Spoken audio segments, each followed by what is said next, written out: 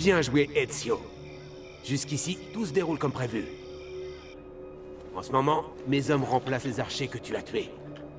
Nous allons pouvoir nous approcher du palais. Oui, mais pas nous y introduire.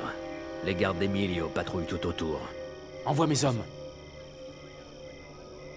Ils occuperont les gardes un moment. Tu n'auras pas besoin de te battre. Et surtout quand viendra le moment de l'assaut? Pense à ce que je t'ai appris. Sois prudent, Ezio. J'espère que tu réussiras. Votre attention Je tiens à porter à votre attention